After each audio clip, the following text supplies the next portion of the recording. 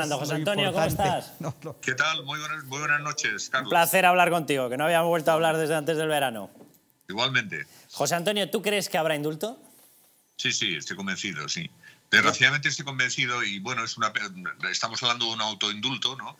Eh, y, esto nos lleva pues a una conclusión que es muy lamentable, que es que la gente de la calle, los ciudadanos van a sacar la conclusión de que hay una justicia para unos, para los políticos, y otra muy diferente para el ciudadano normal y corriente, que es muy difícil que le indulte, salvo que efectivamente se produzcan alguna de las causas eh, que están establecidas para que ese indulto se tenga que producir. En este caso no estaríamos hablando de ninguna de esas causas, sino que sería un indulto político como lo ha sido el de los, eh, de los golpistas del, del Prusés. ¿no? Y me parece que se va a producir sí o sí, porque la presión dentro interna, dentro del Partido Socialista, es eh, tan enorme que, aunque, mm, en fin, pueda costarle algún tipo de, de, revés político en las urnas, eh, yo creo que sí que lo van a hacer. Y además, en cualquier caso, tampoco le va a producir tanto revés. Las yo creo que los ciudadanos están preocupados eh, más que por estas cuestiones que enervan, es cierto que enervan, pero estamos preocupados todos por lo que está pasando en la economía. Y esto, al fin y al cabo, pues yo creo que sí que lo van a hacer porque no tienen más remedio, la presión es grande y bueno, y, la conclusión, como hemos eh, comentado y como he dicho, pues es muy lamentable para la gente. Yo tengo, tengo la misma sensación, José Antonio, sí que lo van a hacer y además con argumentos muy parecidos a los tuyos. Eh, no sé muy bien qué voto más puede perder el Partido Socialista cuando toda España sabe que están encantados de conceder indultos o a los que necesitan para mantenerse en la Moncloa léase los golpistas separatistas catalanes o aquellas personas que han fabricado todo un mecanismo de extracción de fondos del que ha disfrutado el partido, léase el caso ERE. Hombre, no, y además porque se está trasladando a la opinión pública siempre esta idea de que es que ellos no se han beneficiado, no se llevaron nada, no metieron la mano en la caja. Bueno, ya, es que eso lo faltaba, que hubieran metido directamente la mano en la caja. Pero es falso que no se beneficiaron y además en la sentencia se dice con rotundidad y claridad, en la medida en que efectivamente ellos, gracias a esta red clientelar que durante nueve años pues, se mantuvo y eh, con, con, medidas absolutamente groseras, como además también dice la sentencia, parece que utiliza esa expresión, ¿no? Por ejemplo, pues el hecho eh, este de que a un tipo de Mercasevilla que no había trabajado nunca en Mercasevilla lo metieran en el ERE y le pagaran 113.000 euros, pero es que como ese caso hay por todas partes, ¿no? O sea, eh, el dinero que era para los parados se lo repartieron entre amiguetes, eh, próximos, comisionistas, empresarios afines, etcétera, etcétera, y esto es una brutalidad, casi 700 millones de euros que se dice muy pronto. ¿no? Bueno, yo creo, yo creo que sí que se beneficiaron porque la medida en que todo ese entramado eh, de compra de votos o de estómagos agradecidos te sirvió para mantenerte en el cargo durante todo este tiempo, con todo lo que eso significa de coche oficial, de sueldo oficial, de jefe de gabinete, de secretarias, etcétera, pues te beneficiado. Y además es que en cualquier caso es algo que no se puede hacer.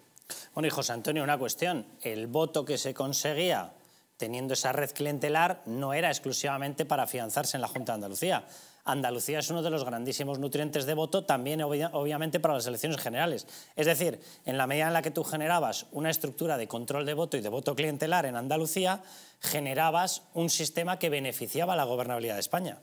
Ah, bueno, eso es evidente, claro, porque las mismas personas beneficiadas, sus entornos, etcétera, etcétera, que eran muchísimas personas al final, eh, con sus familias, etcétera, etcétera, siempre votan. Votan en las municipales, votan en las autonómicas y votan en las generales y hasta en las europeas, con lo cual, efectivamente, el beneficio es eh, por partida casi. Eh, José Antonio, ¿cuál, Tú, que has tenido además una relación y tienes una relación muy directa y conoces a, los partidos de derecha y al Partido Popular y lo que pasó durante toda la etapa de los juicios Gürtel, de determinados procesos que continúan, Púnica y demás, y has visto y has podido comprobar cómo se le trata ante la opinión pública al Partido Popular cuando tiene una sentencia por corrupción. ¿Cómo crees tú que se le hubiese tratado al Partido Popular si un ministro en ejercicio, un ministro de Hacienda, y estoy pensando en la comparativa con María Jesús Montero, hubiese sido la responsable de tener que pedir la devolución del dinero, 680 millones de euros, y aparece directamente en una eh, norma de la propia Junta de Andalucía, por cierto, que salió bajo su propio mandato del Partido Socialista, donde se dijo que la responsable de pedirlo tenía que ser ella,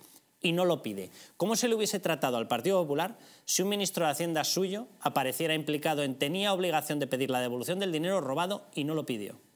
Sí, porque además en ese caso, en el caso de María Jesús Montera, ella formaba parte de toda esa estructura, porque estaba eh, con cargo eh, público en ese momento en la Junta de Andalucía. Hombre, yo es que creo que siempre ha habido y hay un doble rasero muy, muy evidente con relación a, depende de quién eh, cometa la corrupción. ¿no? Y bueno, pues ahí el caso de los trajes de, de Paco Canso, yo creo que es un ejemplo eh, que no sé, que nos puede servir a todos, porque este señor, que al final ha sido absuelto absolutamente de todo, sin embargo, pues no había telediario, por supuesto, las televisiones públicas, pero también de otras muchísimas privadas y radios, etcétera, etcétera, que no abriesen con ese asunto engordado hasta la saciedad y condenado públicamente con pena de telediario y con todas las penas que se puedan establecer. ¿no? Yo creo que es, eh, es así, es una desgracia, pero hay que ver una cosa aquí, efectivamente, claro que el PP ha tenido sus casos de corrupción.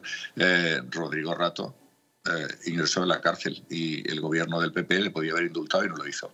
Entonces, eh, me parece que la forma de actuar es bastante diferente, ¿no? Y me parece que además eso que procede, porque si no, al final, el ciudadano tiene la percepción siempre, de una forma muy clara, de que es que los políticos se arreglan entre ellos, se autoindultan y, por tanto, eh, ellos pueden cometer delitos porque saben que no les va a pasar nada. José Antonio, un abrazo muy fuerte y muchas gracias.